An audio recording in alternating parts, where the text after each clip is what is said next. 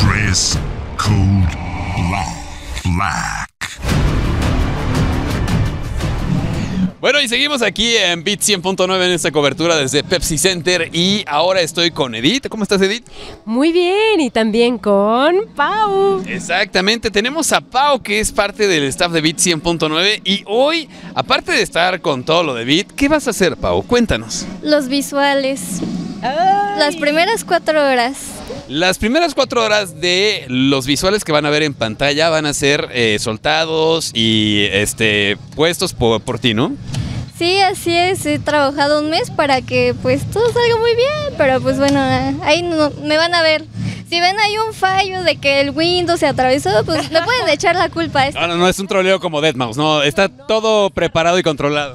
No va a pasar y es lo que les digo que es padre de que cada, cada uno del Beat Team ponga un grano para todos ustedes, para que se diviertan, para que bailen, para que lo gocen, incluso visualmente, por supuesto. Oye, a ver, pero mm, queremos que nos sorprendas, pero adelántanos un poco, como qué preparaste, qué traes. Pues para cada DJ le tengo como su propia identidad. Para Fixball, pues a él le gusta el rojo, el negro, el blanco. Y le puse como visuales acorde a esos tonos de colores. Por ejemplo, María, ella... María Purísima, hombres encuerados, ya. Ya. No, ¿verdad? Pensé, no lo pensé. Por eso es para mayores de edad, para, por lo mismo no pueden entrar menores de edad. Justo, justo, no, no es cierto. Para María, ¿qué? Eh, más como gradientes, porque a ella le gusta utilizar como varios colores, un moradito, un amarillo, un azul. Entonces ella es como más gradientes, cosas más como licuosas, como lámparas de lava y así. Y para los random, como pues son compas, pues ellos más cosas pues chistosas, memes, de repente cosas como muy mm, el estilo vaporwave y así.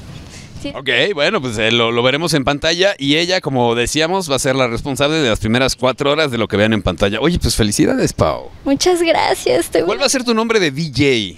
¿Ya lo pensaste?